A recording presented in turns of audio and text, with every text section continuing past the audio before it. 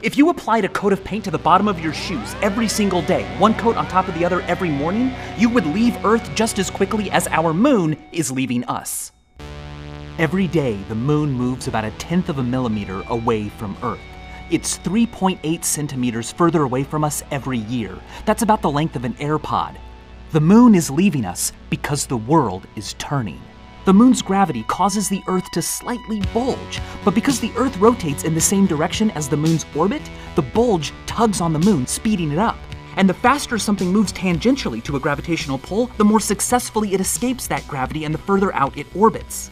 The moon's equal and opposite pull on the bulge slows down Earth's rotation. And if the Earth and moon survive the death of our sun 5 billion years from now, 45 billion years after that, they will be tidally locked to each other. For half of the Earth, the moon will appear permanently fixed to a point in the sky, and the other half will never see the moon again.